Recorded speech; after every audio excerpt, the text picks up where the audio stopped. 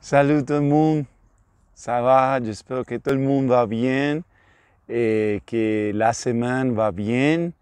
Euh, normalement, aujourd'hui, je parle français, je parle français aujourd'hui. C'est le jour de la semaine que je sélectionné pour parler français, mais peut-être un autre jour, je parle français aussi. Et on, était, on est près de Evian, c'est très joli. Je ne sais pas si tu veux si vous avez vu la, vue, c'est très joli. C'est lac Léman là-bas. Euh, on a cette semaine un très bon euh, météo au, thème, temps. So, ce n'est pas beaucoup de pluie, c'est plus chaud, plus de soleil, ça c'est bien.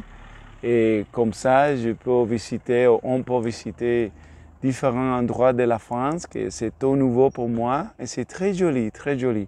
Cette semaine aussi, on allait à, à Genève, on était joli aussi, on visitait Genève, on allait la, traverser la, la, frontière, visiter Genève, on retourner à la France à côté, parce que là-bas, juste de l'autre côté, là, ça c'est la Suisse là-bas.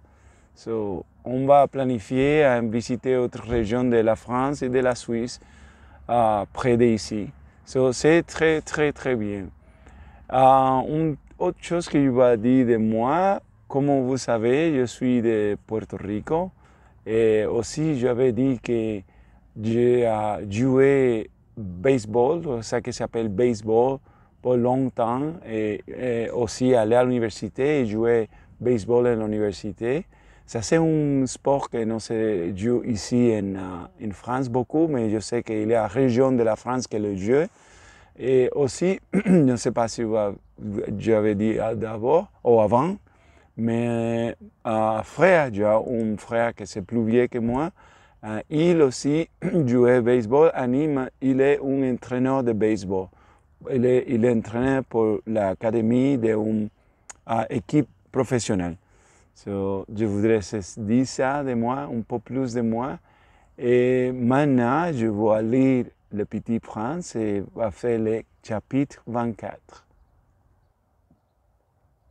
Chapitre 24.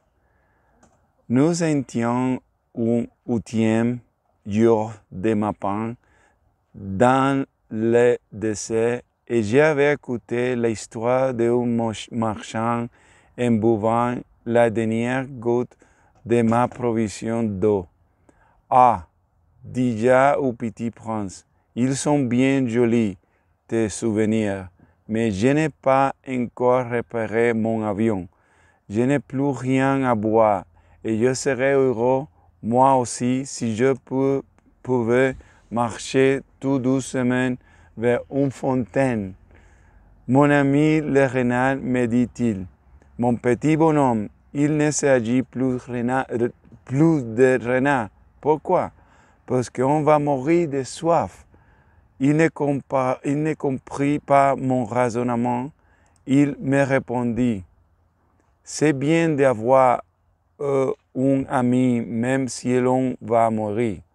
Moi, je suis bien content d'avoir euh, un ami renard.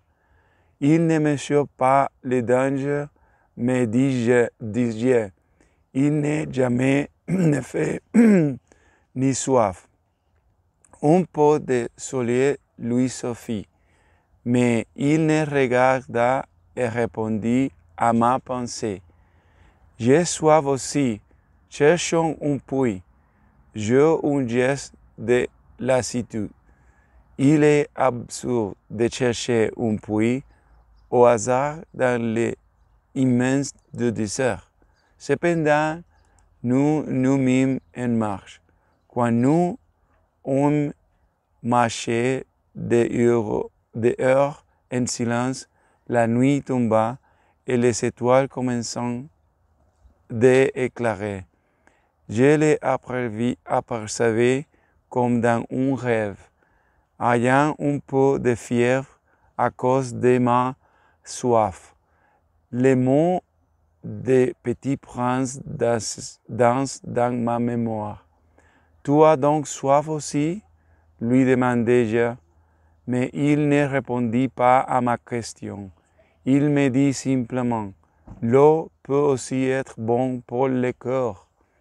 Je ne compris pas sa réponse, mais j'aimais tout. Je savais bien qu'il ne fallait pas l'interroger. Il était fatigué. Il s'est assis.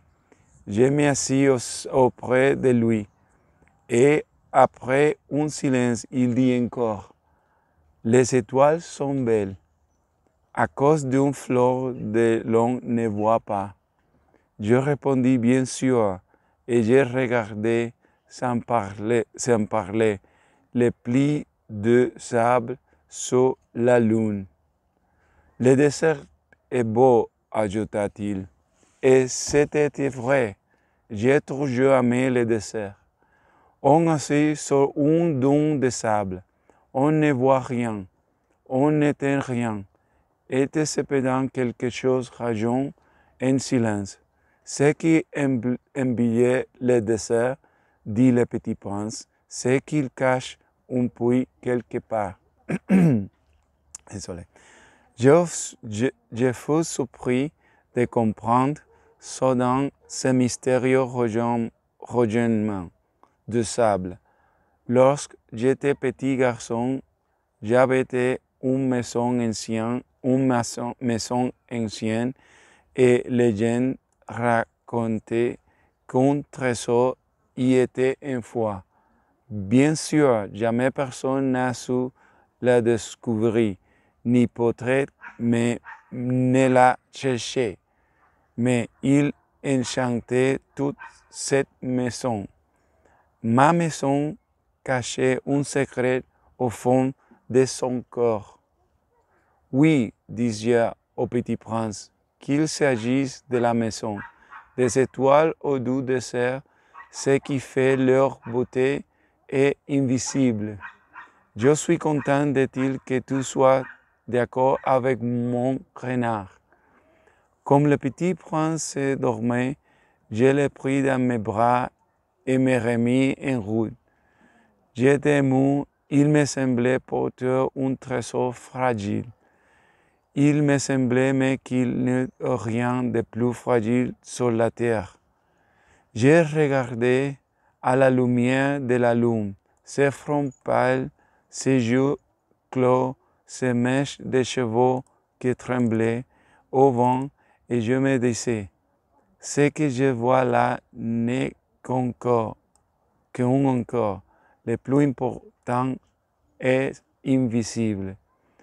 Comme ses lèvres en trouvaient embauché un demi-souris, je me dis encore, ce qui m'émeut si fort de ce petit prince endormi, c'est sa fidélité pour une fleur.